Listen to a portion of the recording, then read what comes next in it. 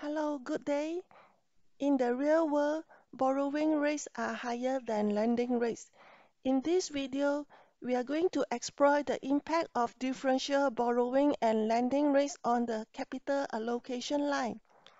I have modified example from textbook by considering the real world scenario as we are living in low interest rate environment currently due to quantitative easing. For example, in Malaysia, the deposit rate is approximately 2% and the borrowing rate is approximately 5%. Most textbooks are written at a time when interest rates were high, so do not be surprised if you see that the figures are different from your textbook. Just treat it as more examples for learning. Ultimately, the concepts remain the same. I hope you enjoy the learning and analyzing process. Let's get started. In the real world, borrowing rate is higher than lending rate. Let's relax the assumption of capital allocation line.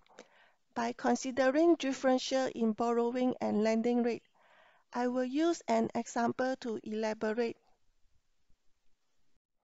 In this example, the lending rate is 2% and the borrowing rate is 5%. A risky portfolio P has an expected return of 15% and standard deviation of 22%. We are going to form a complete portfolio by combining risk-free asset with risky portfolio P. For a start, we assume the weight of investment in risky portfolio P is 100%. Therefore, the weight is shown as 1. I can use the formula of the capital allocation line to calculate the expected return and standard deviation of the complete portfolio. Let's take a look into the working. Let me show you the working on how I calculate the answer for complete portfolio. As you can see here, I have calculated expected return, standard deviation, and Sharpe ratio. Basically, I make use of the formula listed here. First, I calculate the standard deviation of complete portfolio. The standard deviation of complete portfolio is obtained by multiplying the weight in risky portfolio 1 with the standard deviation of risky portfolio 22% and the answer is 22%. After I have obtained the standard deviation, I calculate the expected return of complete portfolio. The working is lending rate of 2% plus standard deviation of complete portfolio of 22% divided by standard deviation of portfolio P. Then I multiply with expected return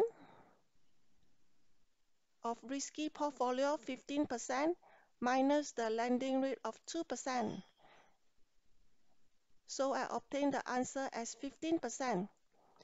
The Sharpe ratio is obtained by using the expected return of the complete portfolio 15% minus the lending rate of 2% and subsequently divide by the standard deviation of the complete portfolio of 22% and you get the answer of 0.59. You can repeat the working for a different borrowing rate of 5%.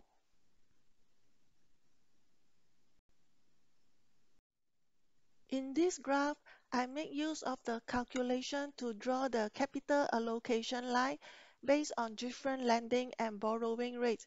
The intercepts at y-axis of 2% and 5% mean we invest 100% in risk-free asset and 0% in risky portfolio P.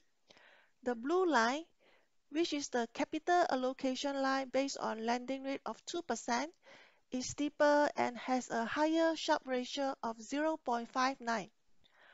On the other hand, the red line, which is the capital allocation line based on borrowing rate of 5%, is flatter and has a lower Sharpe ratio of 0.45.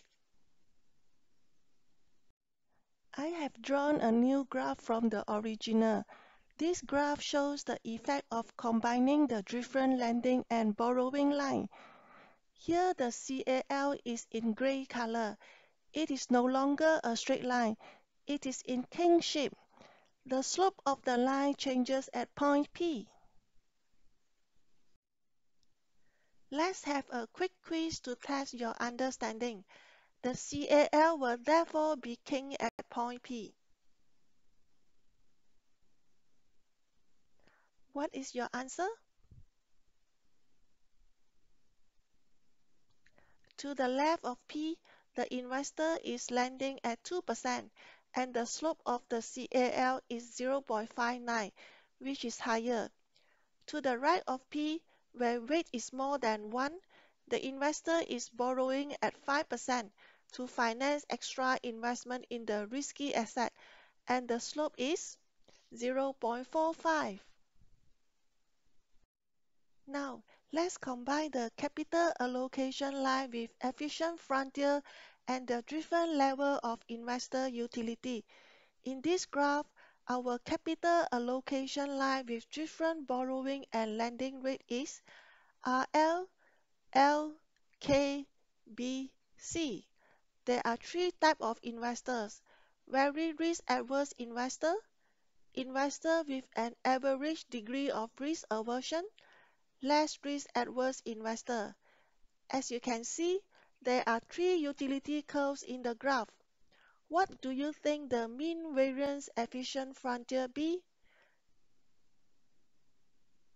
The points on the dashed lines are non-attainable. Therefore, the answer is RL, L,